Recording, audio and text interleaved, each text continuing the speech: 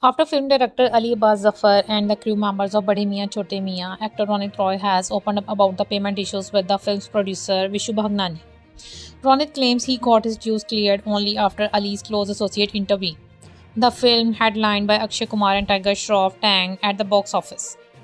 The money was supposed to come from Vishu Bhagnani and it came from Vishu Bhagnani, but that happened only after Himanshu Mehra, who works with Ali Abbas Zafar, intervened. Ronit said during an interview with Zoom. He added, and when it came to the dues of my staff and my security company that guarded the sets in Mumbai, it was all very much delayed. And we got that also due to Himanshu. Ronit shared that his staff was paid their dues from the Dubai subsidy at the insistence of Himanshu.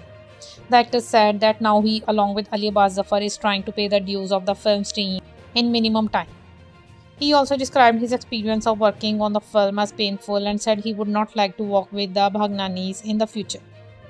Ronit Roy also rubbished the allegations of Ali Abbas Zafar hijacking the film, stating Vishu was on the set every day. He is a veteran. It is difficult to believe how he did not realize that on the set. After Ali Abbas Zafar complained to the Federation of Western Indian Cine Employees about the non-payment of his dues, producers Vishu Bhagnani and Jackie Bhagnani released a copy of a police complaint they filed against him weeks ago for siphoning of funds during the shoot of Bade Miyan Chote.